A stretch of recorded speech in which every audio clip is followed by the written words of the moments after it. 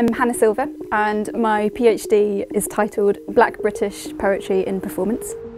It's a partnership with Stirling University in Scotland and the British Library. The topic of my PhD, it's performances that are happening today at events in London that are drawing young, diverse audiences.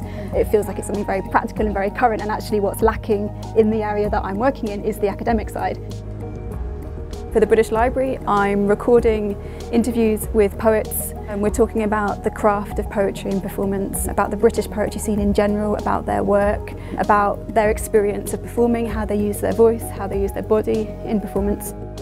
It's quite unusual in that they're very long interviews and I think it's also quite unusual for poets to be asked about the craft of their work, the kind of technicalities of performing and that's just helping me find a language with which to talk about poetry in performance. Students who are working here can make it as supportive and sociable as, as they want. We have organised events where we'll, we'll meet up and talk about the work and I feel like my library and university support are really sympathetic to my project, encouraging and challenging but in quite a relaxed way that fits with, with how I work. Once I've done all of the interviews that I want to do, we'll launch them online. So it's exciting to know that I'm, I'm building a resource that's not just my PhD, but it's something that can have a, quite a big impact in the wider field.